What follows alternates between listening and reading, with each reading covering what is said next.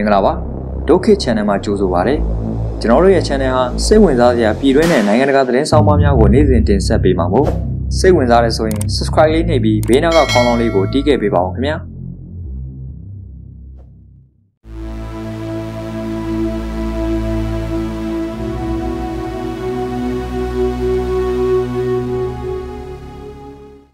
ရိုဝင်ဂျာပြဿနာကသတင်းမီဒီယာမြန်မာတစ်စင်နိုင်ငံတကာရဲ့အာရုံစိုက်စရာဖြစ်လာခဲ့ပြန်ပါတယ်။ အထူးသဖြင့်လူအခွင့်အရေးအဖွဲ့များက2019မှာကဲ့သို့သွေးချောင်းစီးမဲ့ဖြစ်မျိုးထက်ကြုံလာရမှာကိုစိုးရိမ်တကြီးသတိပေးလာကြပါတယ်။ယခုအခါလူရန်ကားအဖွဲ့လိုကြောကြားနေတဲ့စစ်တပ်အပြင်၎င်းတို့ခေါ် M တတာဖြစ်တဲ့ရခိုင်တတော်ပါပါဝင်လာနေပြီလည်းဖြစ်ပါတယ်။ဆိုပါကိစ္စနဲ့အတူအနောက်တိုင်းအစိုးရများလည်းဝင်ရောက်ရှုံချလာကြပါတယ်။ရောမစာချုပ်အားလက်မှတ်ရေးထိုးထားခြင်းမရှိပါဘဲလျက်အစ္စရေးဝန်ကြီးချုပ်နဲ့ကာဝေးရေးဝန်ကြီးကိုဖမ်းဝရမ်းထုတ်ဖို့ ICC ရှေ့နေချုပ်ကရုံးတော်သို့လျှောက်လဲလာခဲ့ပါတယ်။၎ င်းတို့ကိုပါလက်စတိုင်းများကိုရည်ရွယ်ချက်ရှိရှိဖြင့်ငတ်ဘေးဆိုင်အောင်ပြုလုပ်ခဲ့မှုနဲ့ဆွဲချက်တင်လာခြင်းဖြစ်ပါတယ်။သို့သောအစ္စရေးကဲ့သို့ပင်ရောမစာချုပ်လက်မှတ်ရေးထိုးထားခြင်းမရှိတဲ့မြန်မာရဲ့ကာဝေးရေးဦးစီးချုပ်ကိုပေးလျာလကန်ပြူထားခဲ့တာကစဉ်းစားစရာဖြစ်နေပါတယ်။ထိုစဉ်ကဒေါန်ဆန်းစုကြည်ရဲ့မျက်နှာကိုထောက်ထားသောကြောင့်သို့မဟုတ်သူမကိုပါအမှုထဲဆွဲသွင်းသလိုဖြစ်မည်ဆိုရလားဆိုသည်ကရှင်းရှင်းလင်းလင်းတော့မသိရသေးပါဘူး။အစ္စရေးဝန်ကြီးချုပ်နဲ့အတူတစ်ဖက်က Am Data ဖြစ်တဲ့ဟာမာခေါင်းဆောင်များကိုပါ အလားတူဖမ်းဝရမ်းထုတ်ရန်တောင်းဆိုတဲ့စည်းမှာပါဝင်လာခဲ့ပါတယ်။ဒီနေရာမှာစိတ်ဝင်စားစရာအကောင်းဆုံးဖြစ်လာရတာကဘင်္ဂလားဒေ့ရှ်ဝန်ကြီးချုပ်ရဲ့စကားပဲဖြစ်ပါတယ်။သူမကအရှိတီမောကဲ့သို့ပင်မြန်မာနဲ့ဘင်္ဂလားဒေ့ရှ်အစိပ်အပိုင်းများကိုဖဲ့ယူပြီးခရီးယန်နိုင်ငံအဖြစ်ထူထောင်ဖို့လူဖြူနိုင်ငံတနိုင်ငံကကြံရွယ်နေတယ်လို့စလေးပါတီတွဲဆုံပွဲမှာထုတ်ဖော်ပြောဆိုခဲ့တယ်လို့ဘင်္ဂလားဒေ့ရှ်သတင်းစာဖြစ်တဲ့ The Daily Star ကမေလ29ရက်နေ့မှာရေးသားထားပါတယ်။ သူမကမြည်သည့်နိုင်ငံလို့ထုတ်ဖော်ပြောဆိုခြင်းမရှိဘဲဘင်္ဂလားဒေ့ရှ်နိုင်ငံအတွင်းလေတဲ့အခြေစိုက်စခန်းဖွင့်ခွင့်ပေးမည်ဆိုကပြီးခဲ့သည့်ဇန်နဝါရီလ9ရက်ရွေးကောက်ပွဲကိုအနောက်ရှက်မရှိအောင်လုပ်ပေးမယ်ဟုပင်ကမ်းလှမ်းခဲ့သေးကြောင်းပါထည့်သွင်းပြောဆိုသွားခဲ့ပါတယ်။ဤဒီကိုကြည့်မိဆိုက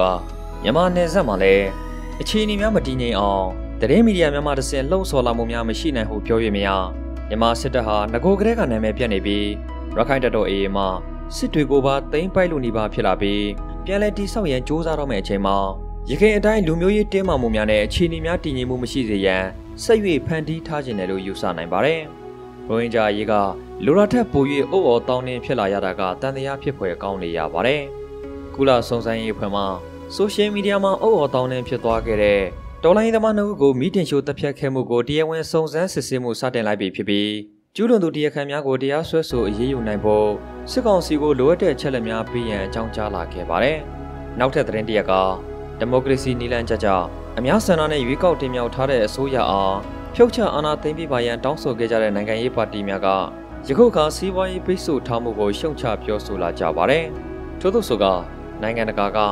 စစ်တပ်ရဲ့လက်နက်အားကိုနဲ့နိုင်တဲ့စီနေလောက်ခဲ့မှုကိုလက်ပိုက်ကြည့်နေကြပြီးဖားသီးဖာသာနေသွားကြလိမ့်မည်ယခုလိုပိတ်ဆို့အရေးယူလာမှာမဟုတ်လို့ ကြိုတင်တွက်ဆထားရလောက်အောင်ညံဖြင်းချသူများလားလို့ယူဆရမလို့ဖြစ်နေပါတယ်ကြံငွေတန်ဖိုးဟာတရရိပ်ကျဆင်းလာနေ၍ကြံရများဖြစ်လာတဲ့စစ်ကောင်စီက၎င်းတို့ရဲ့လက်ပါစီကြံဖို့မှတစ်ဆင့်လူသိရှင်ကြားတရက်ခန့်ရှာလိုက်ခြင်းပဲဖြစ်ပါတယ်ဤဒီကိုကြည့်မိဆိုကစစ်ကောင်းဆောင်များမြည်တို့လောက်ရမည်မသိဖြစ်လာနေပြီးစီးပွားရေးဝန်ကြီးဆိုသူကိုပင်ထုတ်ပြလာခဲ့ရပြီဖြစ်ပါတယ်ပြည်သူများကတော့